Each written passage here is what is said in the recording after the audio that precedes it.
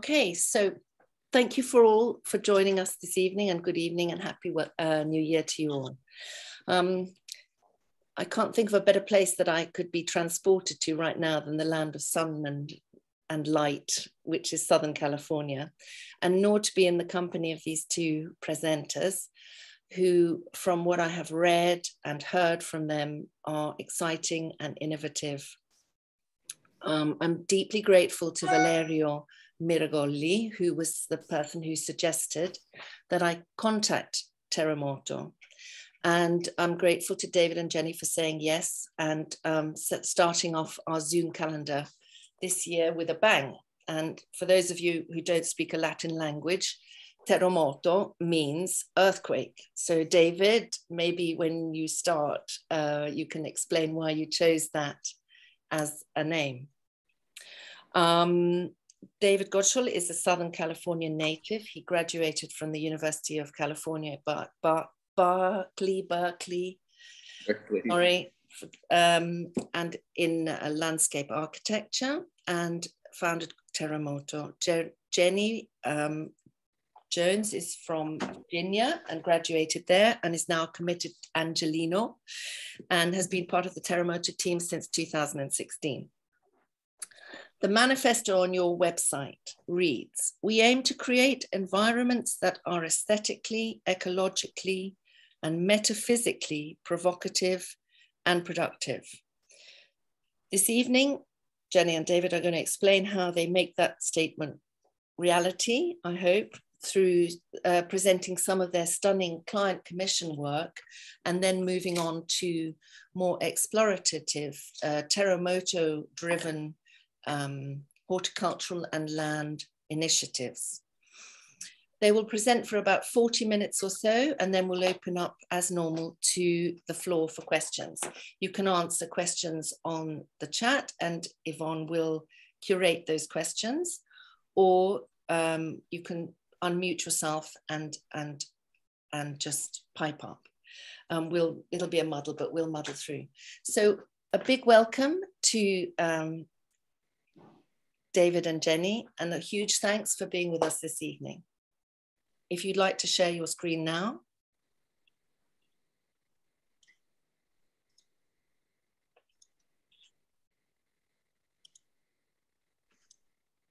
Um, thank you so much for the introduction. Uh, and Jenny and I are uh, so extremely excited uh, to speak with all of you. Um, we've gotten to do uh, a few interesting Zooms over the course of COVID, but nothing like this, uh, where we're speaking to people all over the planet. Uh, so that's, uh, we're honored and excited and appreciative for all of you taking the time.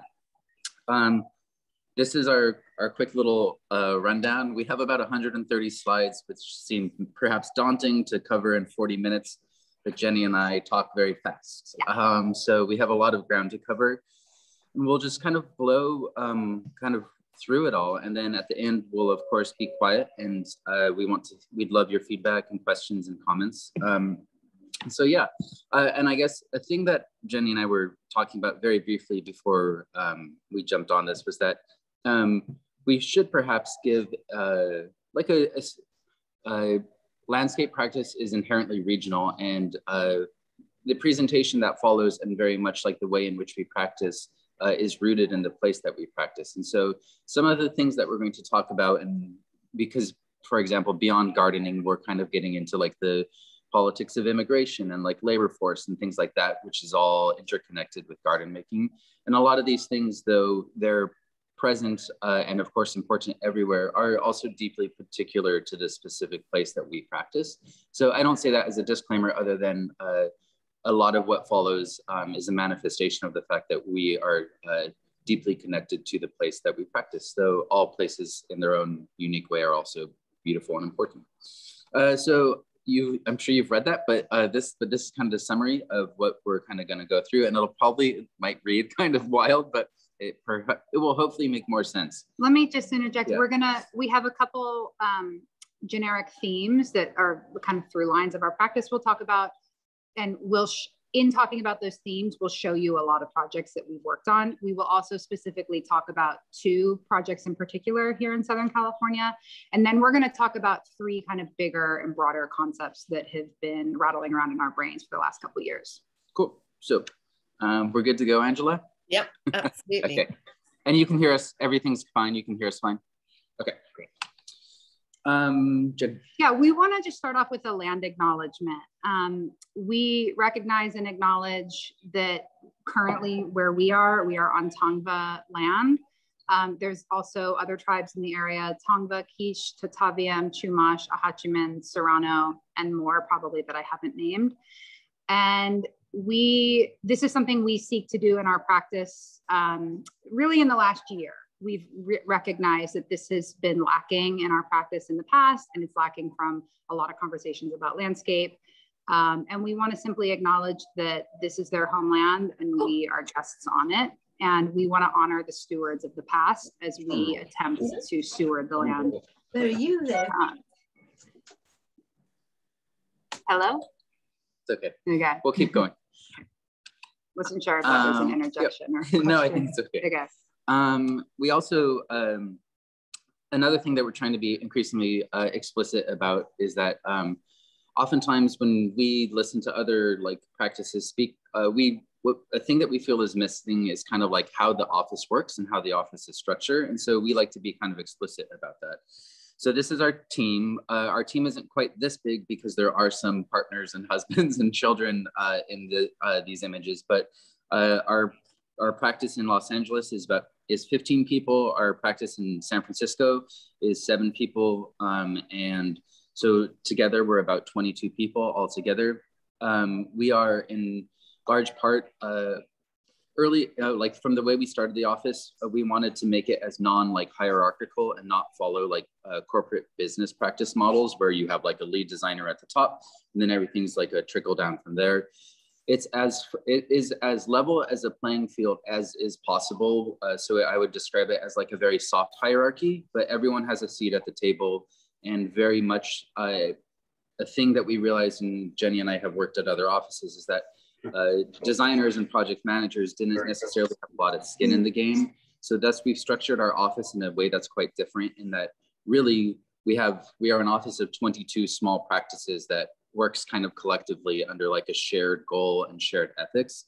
And in doing that, uh, we all support each other and we all help each other. And because it's a small business, everyone has to do everything. And so there's there's there's there's basically no room for ego. Uh, and so um, yeah, we just wanted to be uh, acknowledged up front, like um, that we are a team uh, and that uh, a lot of everything that follows, all the projects that you see, though Jenny and I are here speaking to you, uh, are a culmination and a manifestation of the groups, uh, of the efforts of a larger group than just Jenny and I. And the lab and the laborers who sure. build our landscapes, which yep. we'll get to later. Yeah.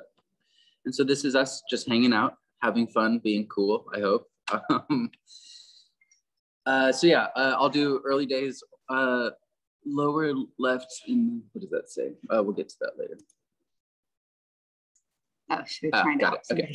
Uh, that's a chat. Okay. Yeah. Um, so this is a silly picture of Alan and I um, at Sea Ranch. Alan is, uh, Alan and I originally started Terremoto about nine years ago now.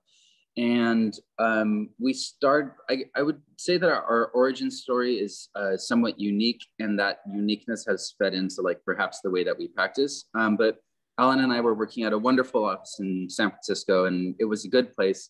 Uh, but we kind of decided we came to a certain point where we realized that we wanted to be able to practice kind of uh, intellectually, conceptually, like on our uh, like in a way that we felt was authentic to our true selves. But uh, the interesting thing is that um, we um, uh, is that uh, we started the office not without experience, but not like deeply, deeply experienced. And um, kind of in, uh, it had always been like in our schooling, at least in the United States, uh, residential work was kind of a bad word. Uh, and it wasn't like really embraced and engaged with in that uh, landscape architecture in the prevailing pedagogy when Jenny and I went to school, at least, was kind of more concerned with like larger infrastructural um, kind of uh, overtures, like in how we uh, save uh, the earth oftentimes and like deal with climate change and address like really meaningful important problems through landscape architecture and how landscape architecture can address those things head on. Those are kind of issues and uh, quandaries that are still very uh, relevant and present and important. Um, that being said uh, it was always odd to us that a lot of these like bigger issues and um, explorations couldn't also manifest through kind of the small residential projects. And to be honest, uh, we were two young people who uh, larger public projects don't come knocking at your door when you're two uh, youngish people without like a without a huge amount of experience. So to that end, we really doubled down uh, in the early years. Uh, Jenny joined a few years after we had started, but we really doubled down and really focused on the residential project as a means of figuring out who we are as a team, like our values, how we want to build. It allowed us to make a ton of mistakes. The fact that you can go from like a concept sketch to construction in a matter of months uh, rather than years and decades in the public projects actually created a feedback loop that was like uh, like infinitely educational. Uh, and so it allowed, allowed us to like build a lot of work, learn who we are and like kind of start to like grow into our shoes or our boots if that makes sense. That's not a figure of speech you just you just created one. Sure yeah. Um, but like a project like this uh, in some ways like uh, perhaps is unglamorous. This is the existing conditions but this is an uh, eichler home that was in orange county uh, kind of modernist appropriate single family uh, housing um, in kind of a suburban sense but like uh, opportunities where somebody called and said I had a dead lawn, and it was just nice to find ourselves very useful. Um, so yeah, uh, in those early days, we just built and built, and then the team slowly grew, and we kept busy, and we, you know, we'd lose money on a project and then make money on another one, and it was uh, like a really lovely time in terms of uh, figuring out who we were and how we wanted to practice. Um, so now what we're going to jump into is themes, through lines, and subtexts uh, that kind of guide our work. Uh, Jenny and I will pass this back and forth, uh, and I'll start with simple details. Um, so I don't know if any of you have had the chance to look at our website, but I would offer that uh, though we don't necessarily practice under a single particular style, uh, there are themes that I would like to optimistically think that kind of persist and permeate like through the body of our work in its entirety. And one of those things uh, that we're very like kind of upfront about is simple details. Um, we don't like building uh, complex, uh, fussy uh, machines that break. Uh, oftentimes, we take issue with the fact that uh, prevailing like mainstream landscape architecture and garden making oftentimes becomes the garden almost becomes a machine, and we're increasingly disinterested in building gardens in that way. Um, and therefore, we kind of are increasingly turning to both uh, materials that are simple, materials that are local, building methods that are kind of uh, straightforward and uh, durable and long lasting, but then kind of applying those like more simple details and still like creating things that we would offer are like uh, formally or intellectually or horticulturally complex, but uh, in their execution and creation uh, can be very simple. Alan, um, once told me, I and this is a, a, cheesy little quote, but it's always stuck with me, is that let uh, let the material define the detail. Don't let the detail define the material. Uh, I spent many hours of my life like uh, detailing like stone steps and like and or detailing like uh, landscape architectural elements that were like almost like needlessly like fussy in which we were trying to impose a geometry and like a like a physical manifestation upon like stone or wood or what have you. And we kind of like threw that out the door at Terremoto. And to this day, I feel like that very much rings true. And also a thing that we've, we increasingly have always like le- leaned into is the fact that uh, if a thing is more expensive, that doesn't necessarily make it better. Um, oftentimes we found that there was this uh, predilection in like uh, garden design for like the more like a, a, material cost and like the more like that that for whatever reason as the project became more costly like the better it became. a culture of luxury. Yeah. We're more interested in economy. And appropriateness. Um, and so like the images and that we've been showing you and like this one here is really we're working with local stone. We're arranging it in ways that kind of harkens to almost japanese style garden making but then we are uh, layering into this uh, uh, kind of uh, plants that can deal in this particular consist condition with like a Northern California coastal, uh, like almost uh, seawater conditions. So um, it's kind of a lot of these things are kind of uh, combining in this way. Um, yeah, so uh, I guess uh, we don't like things that are necessarily overly ornate or uh, like complicated because machines break and we want to make gardens that aren't machines and gardens that are almost self-perpetuating and rely very little on external infrastructure. Um, so these are some projects that, uh, though from one to another, these are all very different projects. And you, I guess, our lack of a particular style is kind of starting to show up.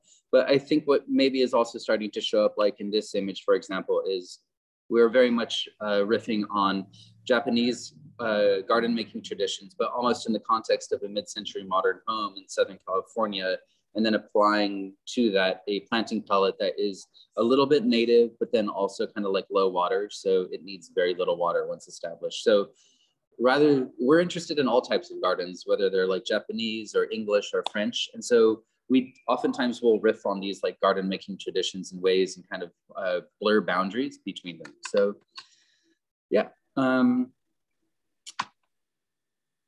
again, uh, more kind of simple details. Oftentimes, increasingly, we believe in doing uh, as little as possible as is needed uh, to do right by the land, but also to uh, accommodate our clients' wishes and desires. Uh, at the end of the day, we are still a client-driven practice. And so uh, oftentimes we conversationally identify what our client needs and then figure out how we go about uh, getting them what they want in a way that is like economical, appropriate, and like ecologically uh, forward thinking.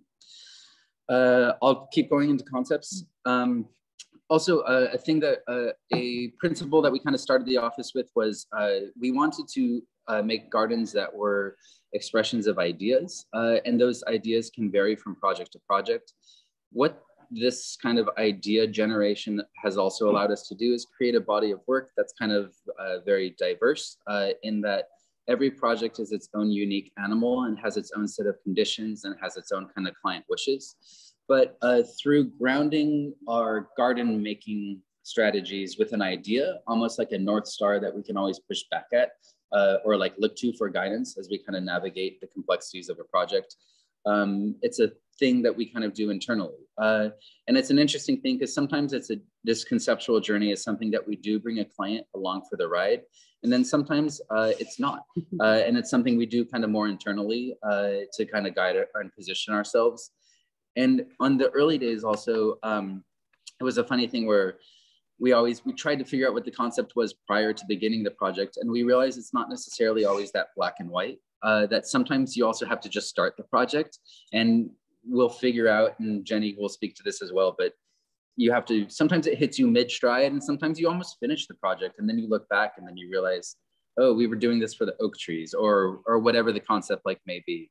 So it's always been like a very interesting journey. And we explore these concepts oftentimes through drawings and collages and kind of like dreams. Uh, this is uh, very quickly, we recently had the wonderful opportunity of working on Sea Ranch, uh, kind of the lodge. Uh, sea Ranch is a in uh, is a California famous like modernist um, housing development in kind of Mendocino or almost to Mendocino in northern Northern California, and uh, so in this in this particular instance, we found ourselves building a new thing next to a very important historically uh, historical building, and that is like a uh, a like an intellectually dense place in which to find yourself uh, and to try and do a new thing. So uh, in this project, we kind of like, uh, we did a lot of historical analysis, uh, looked at these principles that you see on the right were the original principles kind of laid out by Lawrence Halprin, um, who in our field in the United States is a demigod, or I don't even, is, a, is a big figure. So how to balance uh, how to do right by the history while also not letting ourselves be suffocated by it are kind of like uh, things that we like learn to navigate and go on. So yeah, uh, these are some images that uh, we included in our first presentation to our clients that kind of in a way show how we uh, how we like just philosophically positioned ourselves so that we could then move forward uh, in a way that was right and good um, process? Yeah, I mean, David sort of spoke to this in, in terms of the concept and how the concept sometimes comes to us at the beginning of a project, but often it comes through doing the project. And um, process has always been a big part of every project at Terremoto. It's one of the things that actually attracted me to come work here. Um, I was seeing, you know, photos that David was posting on social media, and they were largely process photos of people working and have, you know, being behind a computer all day at another firm. I was very attracted to being outside more. Um, Terremoto is not design build technically, but uh, because we do hire outside contractors to come and collaborate on projects with us, but we like to behave as design build and sort of pretend that we are design build. So we're on site a lot. Um, yes, we do drawings, um, but we do not treat the drawings as sacred. Um, we see a lot of room for um, collaboration and back and forth with the contractor and figuring things on out on site together. Um, and yeah, this was an instance where we didn't even have a plan. And it was just, we, I was following the guy with the mower and we were figuring it out together on site. Um, and just trusting in that process and then also celebrating that part, that process as um, just as important as the finished product of the garden itself. Because really a garden is not a finished product. It is a process. It's an ongoing evolution. It's the way that we relate to the world. And so for us, you know, we like to show a lot of images of process because we think that um, we find beauty in that. We think it's just as poetic and beautiful as the, the finished product. And oftentimes a construction document can be quite rigid. Uh, and so to Jenny's point about not make, not feeling that our construction documents are sacred by any means allows for serendipity uh, and uh, there's a lot of beauty and power in serendipity. So it's a it's a thing that we try to build in into projects where we tell our clients, here's the plan, but also this is a thing that we're going to work out together. Like right. a lot of it in the field. And as much as possible, you know, David mentioned we are very collaborative. Um, we also there's not a lot of boundaries on the projects themselves. So we, you know, different people in the in the office do have kind of their own projects that they're working on but come planting day or boulder layout day or one of these fun site days, we will often invite the entire office to come out and support each other. And I think that the outcome, the, the results that come out of that are often just way more beautiful and memorable, and it's just a lot more fun. Um, planting. Let's piggyback this. Sure. Um, how do we even begin to get into planting? Um, uh, it's this, we could talk probably with, uh, you know, the 99 gardeners uh, or uh, garden interested people on this site, on, this call uh, for days about this, but we'll try to do this very briefly.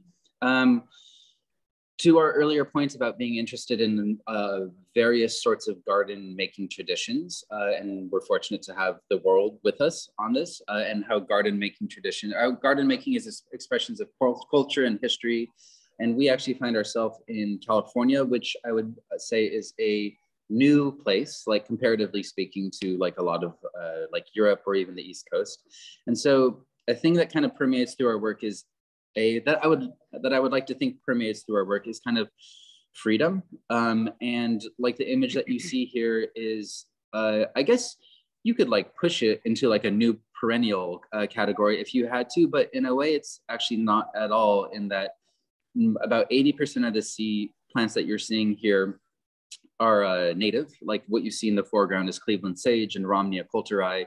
But then like this uh, acacia tree that you're seeing in the background is not a native, but regionally appropriate. But increasingly we're trying to make um, gardens that are as much as they are for the wildlife uh, of the area as they are for the people with whom they are interacting. So it's kind of like uh, a, a, person that we admire named Benjamin Vogt, who's kind of a, an advocate for prairie. He's in the Midwestern um, uh, the United States, but he calls it a non-human supremacist planting design. And we actually think that coexistence uh, is also like a great term to think about the fact that gardens, whether they're public or they're private, have these lives of their own. And uh, Jenny and I live in a uh, neighborhood called Echo Park, but both of our, our your garden is down the hill from mine and but like both of our gardens are native in large part and so one way of thinking about that is like a um, what's the term i'm looking for it uh, Patchwork, uh, patchwork ecology, mm-hmm. uh, in that uh, native uh, like bees and birds and things like that don't necessarily need everything to be monolithically native, but if there are there are these islands and reservoirs to, through which that they can kind of move, that that is kind of one of the ways we in which we frame our residential garden making. In that, in the last eight years, we probably built 400 gardens uh, more on the northeast side of Los Angeles I, I want to jump in for a second yep. because I, I think the Echo Park thing is important. Sure. I, to me, uh, having being somebody who wasn't, you know, one of the founding partners of Terremoto, I'm coming in. I've been here for a while. The spirit of um, kind of the global community that you find in places like Echo Park, Los Angeles, and in other neighborhoods in Los Angeles and the Bay Area that I think has been such an influence on the planting style. Yes, it's sort of like vaguely new perennial. It, you know, we plant densely. We like diversity. We don't like big mass. You know, sometimes we do monolithic plantings, but in general, we're much more interested in kind of the commingling and, and entanglement of, of plants from different places all together. And I think that the gardens that you see in Echo Park, I mean, you've talked about this before, the kind of horticultural semiotics. It's yeah. like the the collective of people that's here that are here in Los Angeles from all over the world, and they bring these plants with them from all over the world. So you see succulents from Mexico and trees from South Africa and all kinds of different things all mixed together. I think that's been a big inspiration, sure. and we riff on that a lot in our gardens while also skewing heavily native. Yep. So we kind of celebrate that. There's a little bit of like a messiness in our gardens, and I think it comes from observing the kind of emergent landscape of Los Angeles yep. in a way. Totally. Um, we are all immigrants in a sense, if you zoom back far enough. And so like uh, layering like the, the that kind of concept, concept conceptually on that um, is kind of important to us in our work.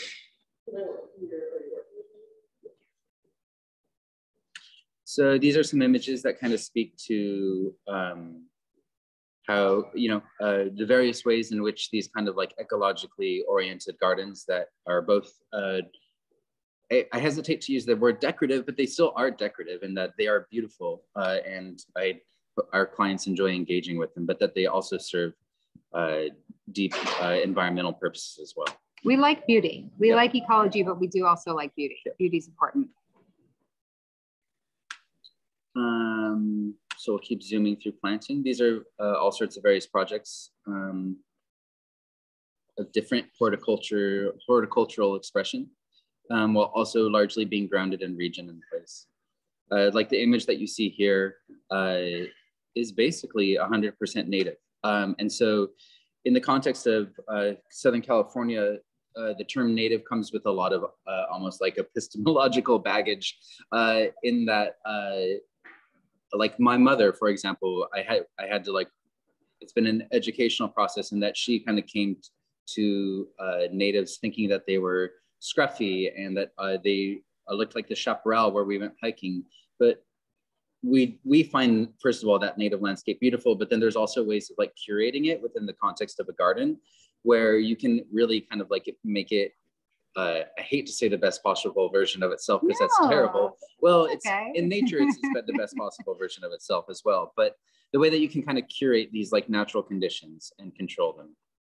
Um, and so that you can create gardens that are uh, in a way ornamental, but also native. Uh, that's of great interest to us. Um, and this is my home garden. Uh, and there's a treehouse and fernleaf catalina ironwoods, which are native to the Channel Islands. And then um, Pacific Coast irises and Atriplex. And so this is like a plant that you see along the coast when you drive in Malibu. But the way that this wildness uh, can be somewhat curated uh, to feel purposeful. And now we're going to quickly jump into two more specific projects. I'll do the first one, Jenny will do the next. Uh, this first one, Jenny and I both worked on.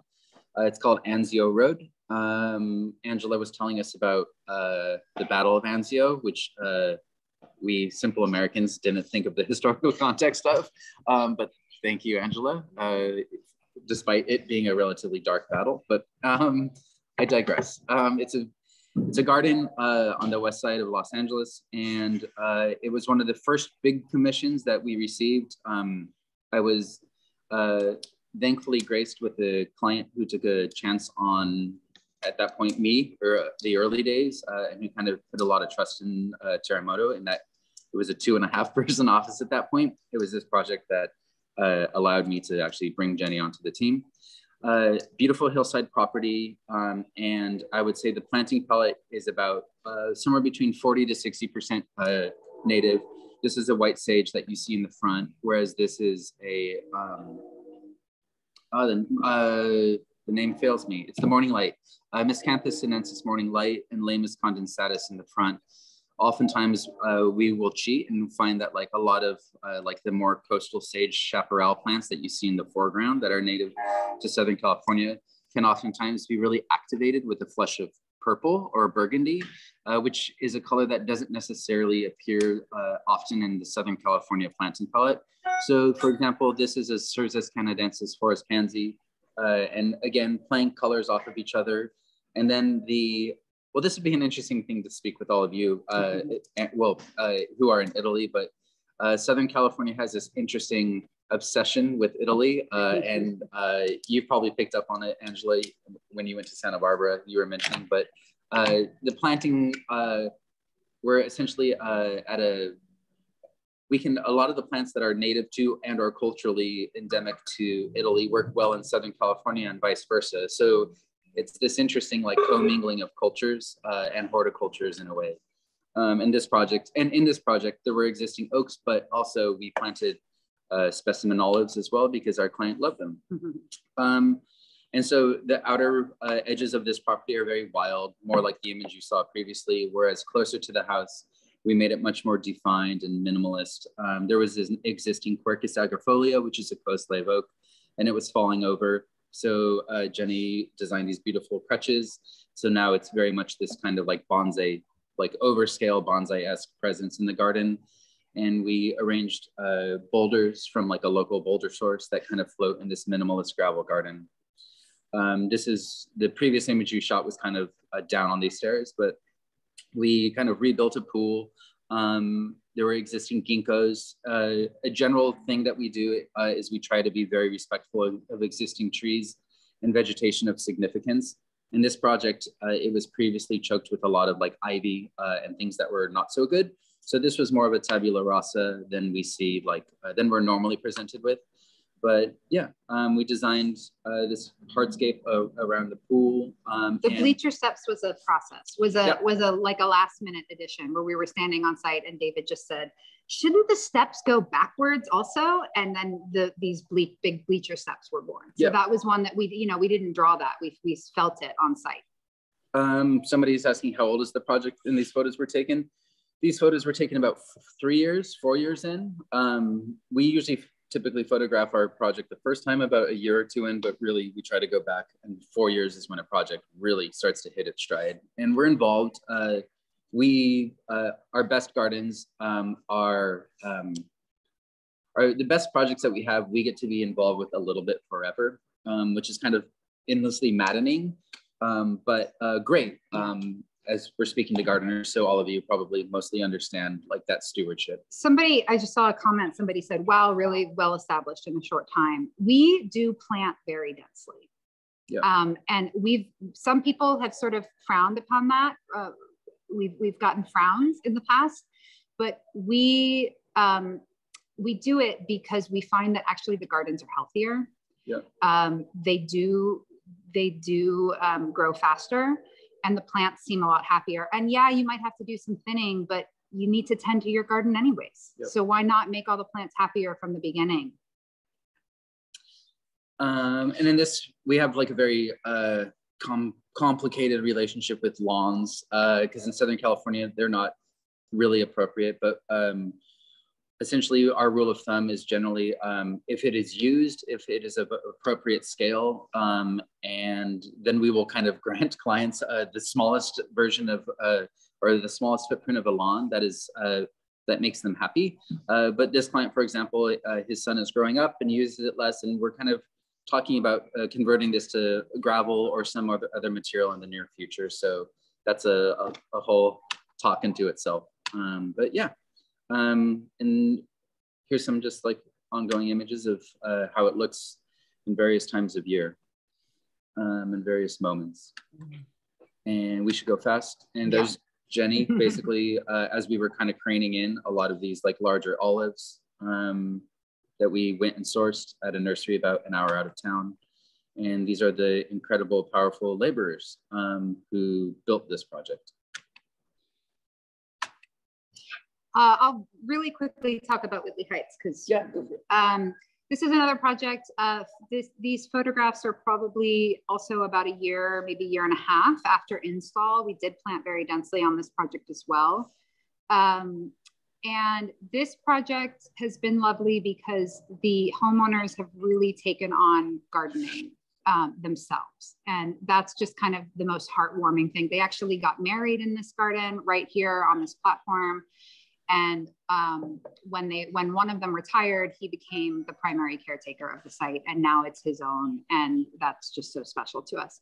This was like a classic Mediterranean kind of Spanish style house here in Los Angeles in a historic neighborhood um, that I'm now blanking on the name. Whitley Heights. Oh, Whitley Heights. Thank you. And um, we they used to have a, a porch uh, actually right in this exact location that wrapped around the these deodar cedars and then it was termite infested and falling down and they needed to take it out and they were going to replace it. And we came and we said well what if instead of replacing the porch you actually pulled your patio out into the middle of the garden and you surround the patio with garden?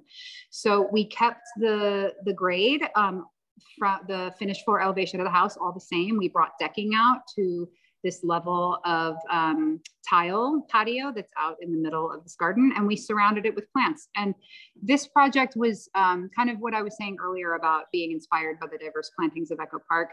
This project was very much inspired by the diverse plantings that you see all around this area of Hollywood called Whitley Heights. There's a lot of big old beautiful deodar cedars and palm trees that this decking is um, Mangaris. Mangaris, thank you. Which we normally wouldn't use. We normally wouldn't use. It's a tropical hardwood. We try to stay away from tropical hardwoods in general. It sometimes is unavoidable. A client will insist on using Ipe and we say, okay, but based on the research we've done about the destruction of the rainforest that comes from tropical hard forests or from tropical hardwoods, even the ones that are supposedly sustainable, we try not to use it. But there was an existing deck, deck and we had to match it. So um, and this project uses a lot of diverse plantings. We've got natives in here like heuchera and um, the polystichum, sword fern, and we've also got woodwardias and yarrow in the back there. But then we've got non-natives like the kalanchoe and the Australian tree ferns and the agave attenuatas. So it's a real um, mishmash that makes for a, a really lovely garden um, there's some sort of chaotic moments like in the picture you just saw, and then some more kind of clean modern moments um, along the walls. Um, I would say that Jenny also did a beautiful job of kind of riffing on the panorama. Yes. Uh, so what you see here is kind of like the view, the vista beyond, and uh, Jenny did a great job of bringing like that eclectic, uh, fictional illusory like Hollywood uh, panorama into like the site itself. Well, and this was a project also where um, we, we sort of knew what the concept was. We knew it was all about the celebration of the plants.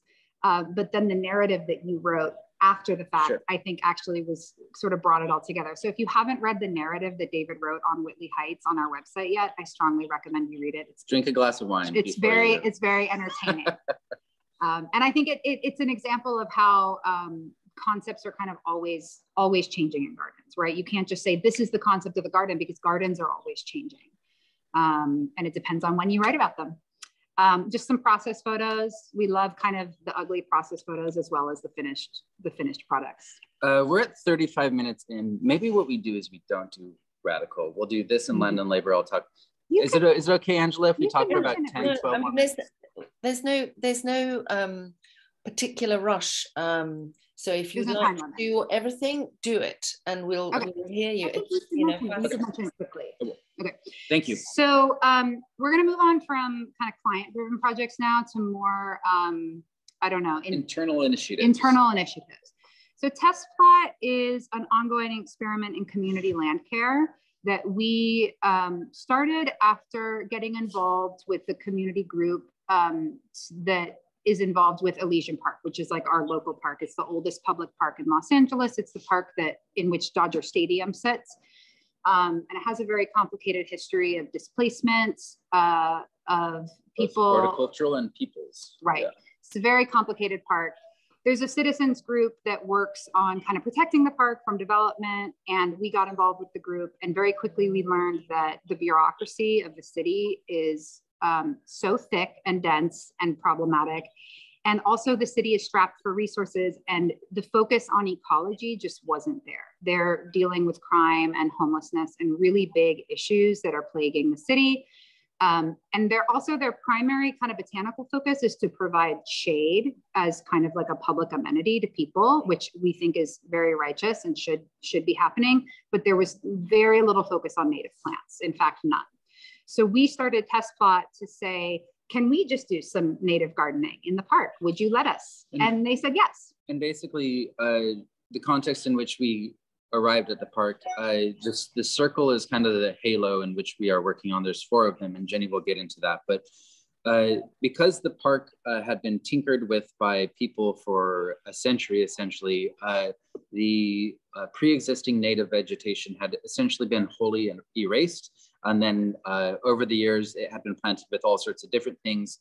And then after uh, decades of neglect, essentially it's a zombie eucalyptus forest. Like you see like this half dead eucalyptus here. and then essentially what's on the ground plane is invasive grasses.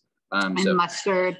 So that's the condition when we arrived. Yeah. So um, we got permission to do a temporary garden. And this was the way that we were able to kind of pierce through the bureaucracy. It's not temporary, people love it, but we're calling it temporary in order to get permission. And we consulted with a lot of community members and experts, ecological um, people who grow native plants, people who do ecological restoration. And we figured out what needed to be done on this site, given the particularities of the invasive plants here, this annual brome grass and the mustard. We realized what we needed to do was first flush out the existing seed bank of invasive. So we set up a sprinkler and um, the plot is, the reason we chose this site is because there is a, a hose bib. This is another problem with the park is that the water, the infrastructural um, systems of the park are broken. There is one lone existing hose within the park. There is already a little bit of an existing. Jenny, excuse me, Jenny. Maria Sansoni, can you please mute yourself? Sorry. That's okay. Oh, Thanks, sorry. Angela. Mm. Um, we're basically, um, this is an example of using what we have. So here's an existing hose bib that works in a park that is devoid of any other water infrastructure that works. And we simply ran a hose from this hose bib as far as we could go, threw a sprinkler up, and the shape of the plot is determined by the throw of the sprinkler to make it kind of as simple and volunteer proof as possible. And um, we, um, we like to think that we lie somewhere in between native gardening and ecological restoration. So we're not doing true ecological restoration, which follows strict principles and methodologies. We're more casual than that, but we are also a little more regimented than just kind of doing our own native garden. And we think that's a really interesting place to be. We're not, we don't define ourselves by one kind of um, strict method. We're very volunteer driven. We need our volunteers. They come out, they weed, they plant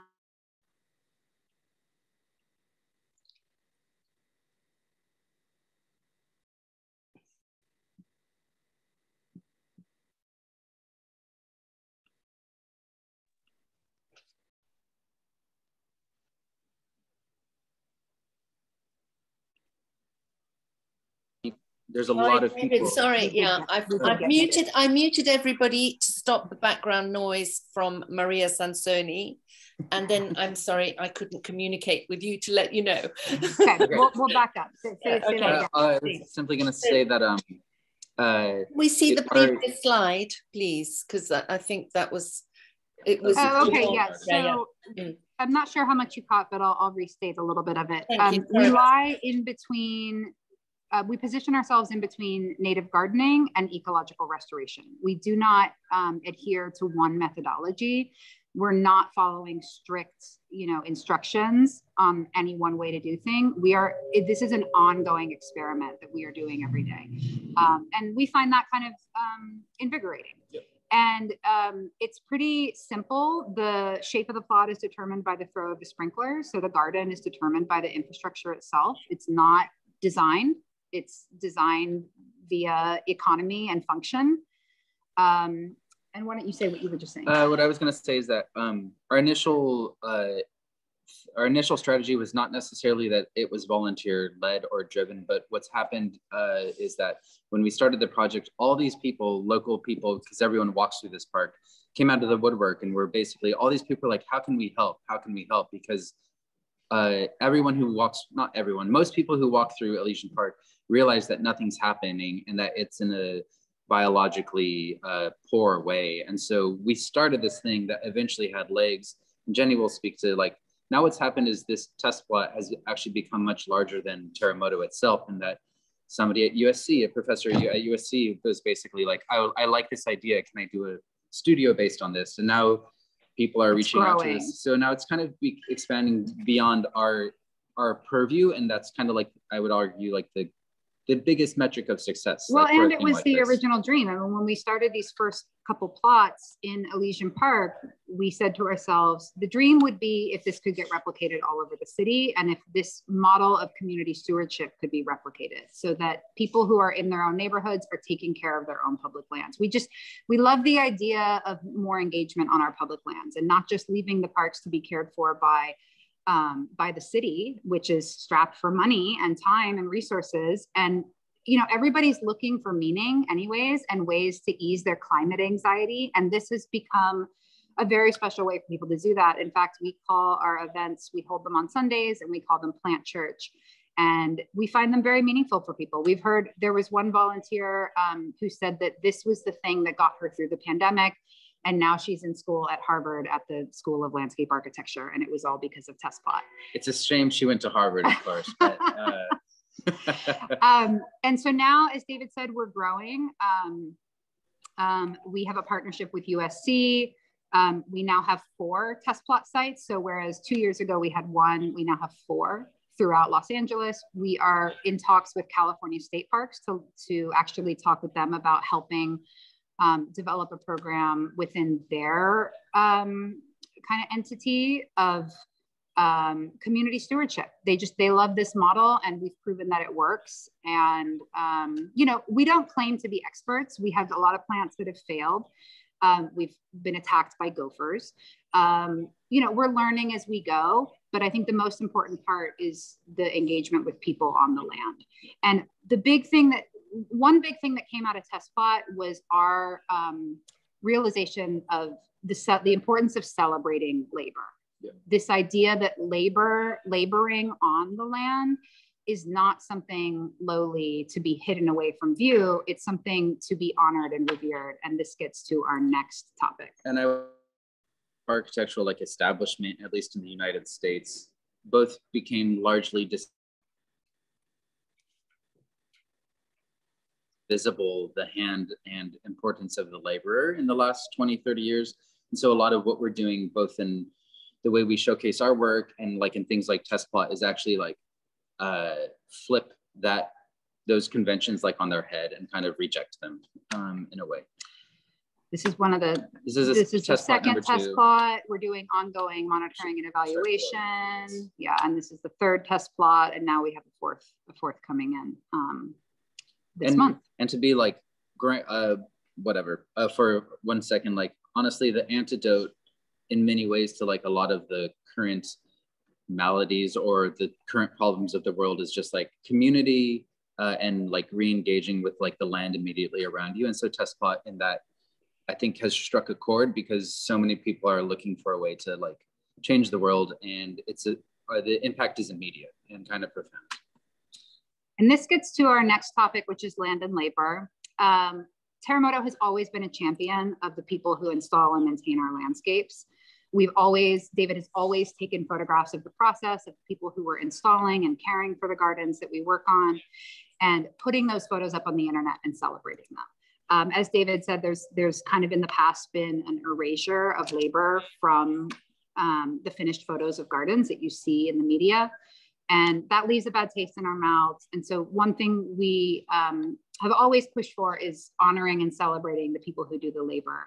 Um, and not being precious about us as the designers being the heroes. And we also take issue with the fact that when you get basically most monographs or whatever finished works of practitioners who we oftentimes deeply admire their work, uh, there's a complete absence uh, or there's a complete lack of acknowledgement of the people who built the landscapes. And I think it differs from place to place, but in the United States, at least, and in California, at least, in large part, uh, landscapes and gardens are built and then maintained by uh, Latino immigrants. Um, and so that rubs us doubly the wrong way in that there's like a there's like a passive like systemic racist like quality to that and so in many classist. ways yeah and and where depending on where you are and depending on who is building the gardens it could be classist or it could be different things and so when we do poorly by the laborer who's both building the uh, garden and also who's maintaining the garden uh, we do poorly by the garden its entirety. Yeah. and jenny has like rightly said like it devalues the garden uh, completely. I would argue like the little that i know of like garden uh, garden making and garden tradition making at least in uh, london or and or the united kingdom is that the role of the gardener is like very respected. And uh, it's it's problematic uh, in Southern California, for example, or California, in a way it is not elsewhere in the world. And so we are almost are like looking to these these superior models and trying to like reinvigorate and actually be like these people who are taking care of uh, our gardens are so important. Uh, and so it's been devalued historically. So this is our initiative to kind of make that right. Yeah, and specifically in Southern California, the, the kind of devaluation that David's talking about manifests in us having a hard time finding high quality gardeners. Most of the gardeners here, it's a race to the bottom on making wages. And so, in order to make a living wage, they run around to 15 gardens in one day. Well, what that means is that they're not doing anything. They're they're just blowing and mowing and going. Mm. And what that means is that the land is not properly is not being properly cared for. So as David said, when you devalue the labor, you devalue the land. And in this time of climate change, it just shatters my mind that we don't um, pay people more. Pay anybody who's working on the land, we need to pay them more. The healthier the soil is, the more carbon sequestration that happens. It's just to me, it's the most important thing. So that's a big push that we are we've now decided to formalize within Terremoto. It's always kind of informally been a theme. This past year, we formalized it into an internal land and labor working group. Um, there's a group of us in the office. We meet periodically to discuss these issues we collaboratively wrote an article and it was published in Metropolis magazine. That was kind of the first um, push that we put out into the world to have this to start this conversation. Um, we've had a, another article in Fast Company. We are trying to just push this conversation out into the world, um, not only to, um, well, let, let, me back up for a second. So um, one other thing that our land and labor working group is not only is to to talk about these issues publicly and, and um, bring more presence to them, but to help ourselves get stronger and more bold in talking to our clients and in educating our clients. So, doing this, we're doing this to try to start a bigger conversation, but we're also doing it to make ourselves better and hold ourselves accountable. We are not perfect. We recognize that we are part of this capitalist system where people are exploited. We fully recognize that. Um, but we're trying to do better every day, just do a little bit better. And even in just little moments, we're on site where we can say, no, no, the gardener's not going to do that for free. He will be charging you for that. And we can stand there in solidarity with the people who are working on the land. And it takes a little bit of courage. And so it's been a lot of soul searching, but we're. Um, and also uncomfortable conversations yes. with builders with whom we have relationships in that I'm a big believer in mind your own business, but also we've reached a mm-hmm. threshold where you can't necessarily do that because poor business practices have created this climate. So like people whom we admire and we work with, we're kind of like saying to them, how much are you paying your guys?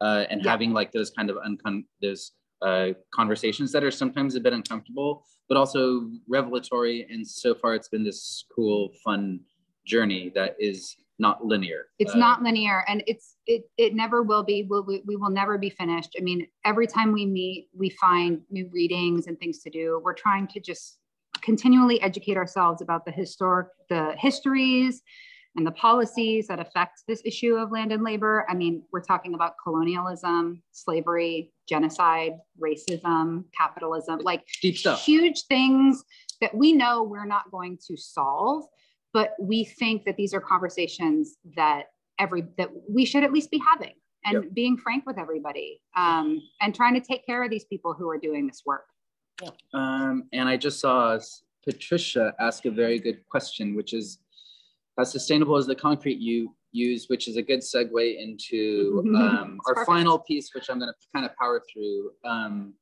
and I, it's kind of like an internal uh, North Star that we're working on. And the bombastic name is Radical Gardens of Love and Interconnectedness. And basically, it's a manifesto that changes every day.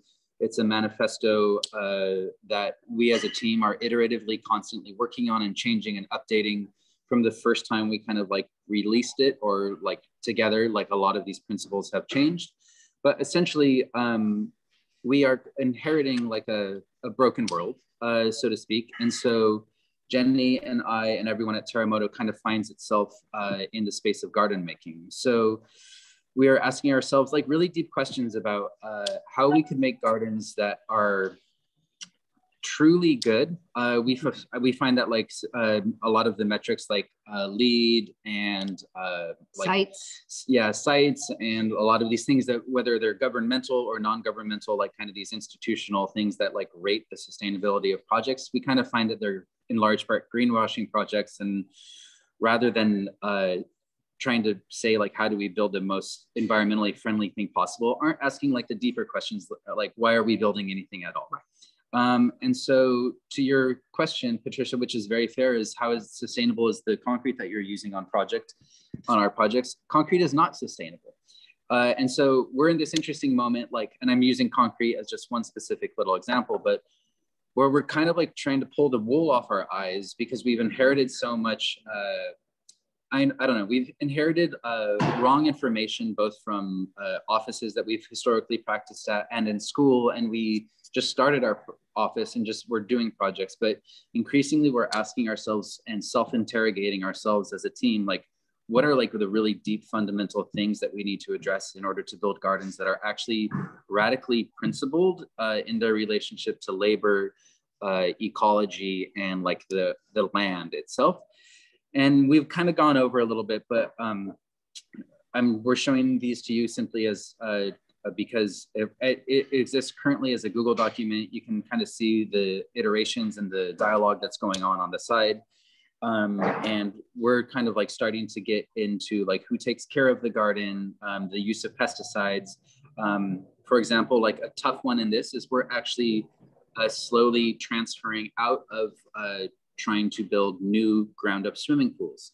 Uh, we've built them for years, but we kind of have finally come to the conclusion that they're actually deeply bad for the planet. Uh, but then rather than looking at that as a constraint, also we're trying to look at that as an opportunity and, and instead like we're calling it a bathing revolution. We're like changing the culture around how people bathe uh, in their garden is like a, actually a huge opportunity. And again, to the point of you're doing a better version of it in the in Europe than I think we are in the United States. But in Southern California or California at least, the culture of construction around swimming pools is such that in order to swim, you have to pour these like giant concrete vaults into the earth that are then uh, perpetually like uh, in, injected with chemicals in order to create this crystal clear water. And so we're trying to question a lot of like the appropriateness of that and why aren't we swimming in more natural environments? that could also like uh, play host to ecology. So I'm kind of glossing over this last thing pretty quickly, but it's a it's a it's a manifesto that changes every day uh, because the world is changing sufficiently fast that uh, the moment we think we know a thing, we also have to acknowledge as a team that uh, we might not that it needs to change and be constantly well and just that we're not perfect you know yeah. we this is an ongoing thing for us to strive towards. We still you know every week have this conversation of oh here's this new project. It's 40 acres of ecological restoration and there's a swimming pool. Well you know what do we do? So sometimes we still take the pool project. It's yeah. we're we are this document is um, kind of a something for us to aim yeah. at. We have we have by no means achieved all of these. And the way David's pitching this to clients, um, there are some interesting projects like the one he's going to show you, which is that um, would you like to have a, a radical garden? If yeah. are you up for going on this adventure? So not all of the gardens, you know, Anzio is not a radical garden. Whitley Heights is not a radical garden um, the ones that we showed you. But we do have some projects that uh, adhere to these principles. And, and more and more, we're upfront asking clients, would you like to be part of this new philosophy that yeah. we're exploring? and more and more we're finding that clients will can we kind of like hint at this trajectory that we're after, which is building gardens that are truly whole. Uh, and more and more clients are like, yeah, uh, we want to go on this weird adventure with you. So I guess we'll end it in this talk. Uh, our us talking. We want to talk to you now, yeah. but uh, with saying that um, we're also at the beginning. That we're proud of all the work that we've accomplished to date. Uh, we're also on this uh, interesting nonlinear adventure to to do better to do better and make gardens that will also fundamentally look different but we also we argue uh, have the potential to be more beautiful and uh, be better so we'll shut up now you have like three more pretty images to sure. show. Okay. Um, but you see uh, this garden in particular has almost a ruin, ruinous quality to it because uh, we kept the existing thing that was falling down and layered onto the thing onto the garden like almost a floating intervention in that we want the new garden to be a the confluence of the old the historical thing and also the new thing. So it's both the past present and future at once basically. Wow so we'll stop there yeah we'll stop there okay thank you So um, to go back to my first question, terremoto, does it mean something oh. else to you? I never answered that question. Sorry, Angela. I blew right by it.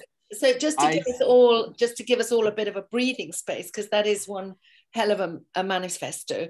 Can I also ask you now to to un unshare so that we get everyone back yeah. on on the screen? Um, um, we um, I studied uh, in Italy. I lived in Florence for a semester and uh, Rome for a semester when I was a young man. um, in my undergraduate education, I was studying art history. And while I was there, I was learning Italian and uh, encountered the word terremoto. I think there's a few dive bars named terremoto here and there uh, throughout Italy. Um, and the word just stuck with me. I'm kind of a word guy. I speak Spanish too. And then when I was in grad school, uh, there was just a moment where it like clicked. I was like, oh, if I was to ever, I never had, I never explicitly had like the specific ambition to start a business. It, that came kind of more circuitously, like in my life.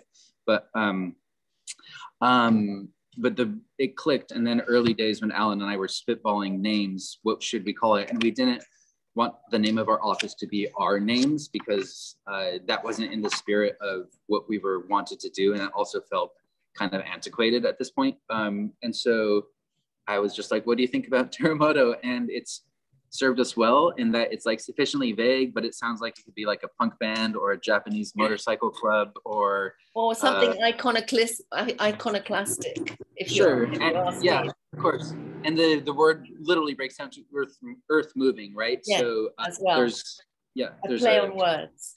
Okay, yeah. so let's get on with the questions because I think that um, you know maybe there are some. Yvonne, I I, I can't see you. Have um, have I don't read the chat while we are. I know that you did answer some questions. Uh, are there further ones, Yvonne? Um, no, I mean, I'm firstly to say thank you so much. Well, firstly, thank you so much for, for such a, an overwhelming presentation. I'm going to have to do this all over again online because I just couldn't take everything in. Um, uh, that you very kindly answered in real time some of the chat questions that were coming in. Uh, most of what was coming in the chat was just expressions of delight and enthusiasm and you know uh, support, and it wasn't it wonderful. Um, may I just ask one quick, kick off with one very quick question? Um, slide 59, um, there was a wonderful silvery tree. Can you tell me what it was?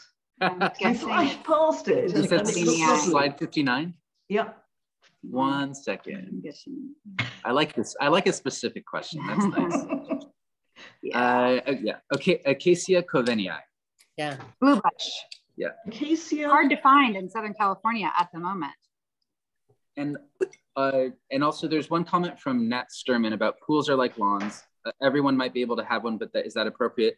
That's a very interesting mm. point to make uh, in that um, uh, I completely agree with you. Uh, pools should simply be community resources. If you're going to do a bad thing to the earth, then it should be for a large group of people to enjoy rather than uh, carrying it with a single family home.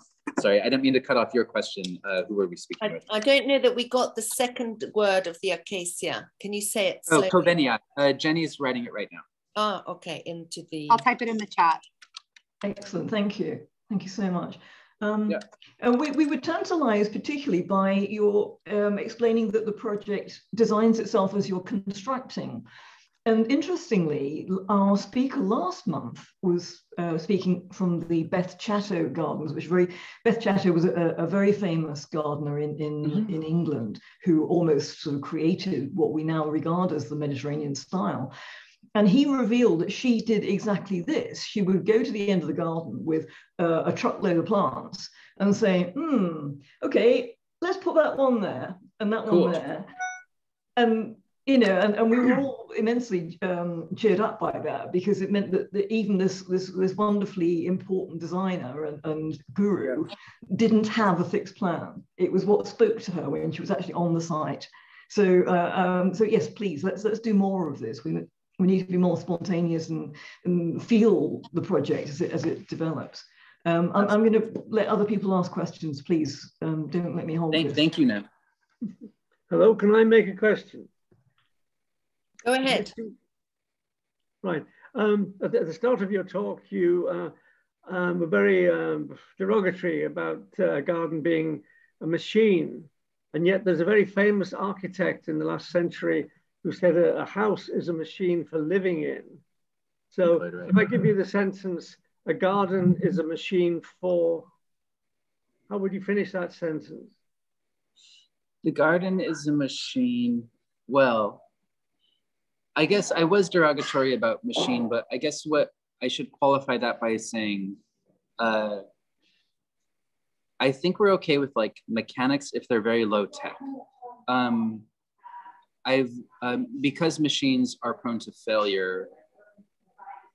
Like I, we almost like uh, categorically don't do uh, don't do complicated water features anymore because we would always come back to the projects and they would always be broken. And there's nothing worse than coming back to a project and seeing a thing that had failed. Um, and so the use of native plants in a way is low tech because once they're established, they don't need um, they don't really need external inputs. And so, and then they pair with like local fauna. And so that's attractive to us. But to, I'm not trying to deflect your question. Your question was uh, gardens are machines for, well, I guess Ekpo was living, right? I think gardens are machines for living. I mean, sure. But I guess what I would want to qualify that is that, that the almost the Ekpo, which is gardens are for living or that sort of statement, I don't we don't disagree with any of that, but I would almost say are almost for living for for both human for, for for living creatures, both human and non. Well, the other let me throw out another way to interpret this is we are the machines for the garden. Sure. Is you know, I mean, machines were invented to, you know, I, am not going to explain no, this to you. I like but machine, you know, machines make work easier. And part of what we, you know, we do love this idea of like, yes, you know, we shouldn't have backbreaking work, but um, that you know it's so good to garden it's for it, people um, you want a little backbreaking work. You don't want your life to be dominated by backbreaking work but a little bit of ritualized sure. discomfort like, well to turn that back so we're here. the machines for the planet to take care of this planet. We're just freestyling here but I, I like what yeah. you're doing. And i like okay. uh, the question the question is good. Yeah. And anybody else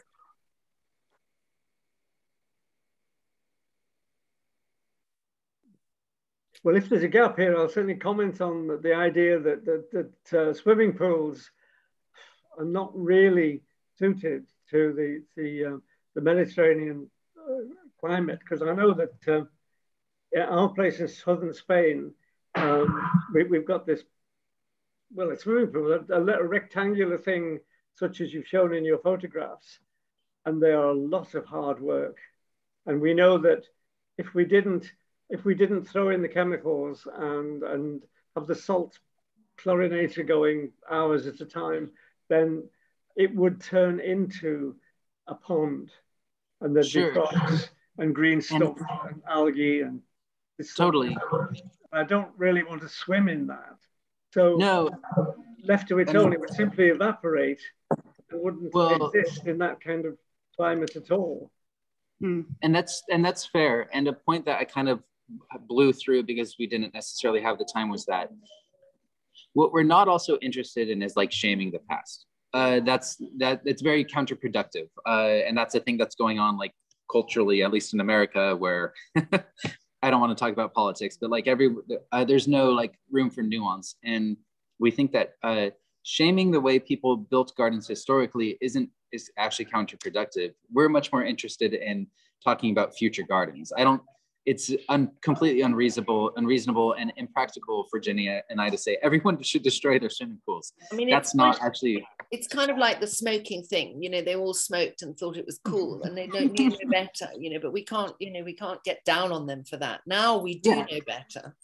So. Yeah, totally. Well, and so it's more about like, well, here's what we think the future gardens should look like, and here's what the pools or ways to swim accompanied with these future gardens could be like that are actually more environmentally uh, appropriate.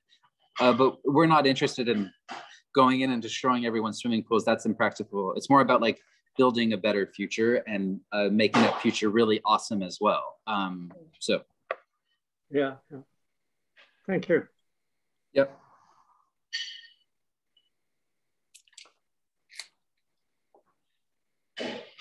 Yvonne is just speaking up about uh, the, the MGS website has some good alternatives to um, standard swimming pool solutions. Thank you. For we will check that out. Yeah. I'll check for everybody, out. for all of us. so, I mean, I think I confess to being a pond person.